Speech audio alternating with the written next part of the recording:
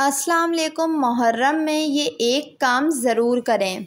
इमाम जाफ़र सादिक सलाम अल्लाह के बंदों को तर्ज़ अखलाक ही दे रहे थे।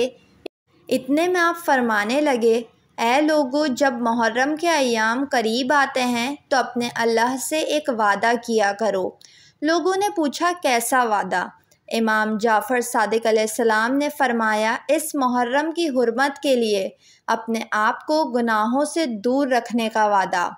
जो इंसान मुहर्रम के महीने में अपने आप को गुनाहों से दूर करता है, किसी इंसान का दिल नहीं दुखाता, किसी का हक नहीं मारता, ना महरम की तरफ़ निगाह नहीं उठाता तो अल्लाह ताला पूरा साल इसके मुकद्दर में खुशहाली लिख देता है।